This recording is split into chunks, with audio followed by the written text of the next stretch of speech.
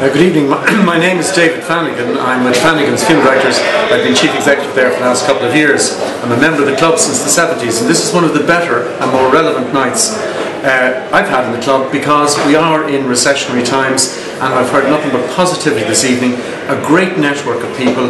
Great business can be done, and we can learn an awful lot from each other at very little expense, but to great advantage to all of us. So I'm particularly pleased that St Mary's College Rugby Football Club have taken the initiative to set up this network, and it's only going to go from strength to strength.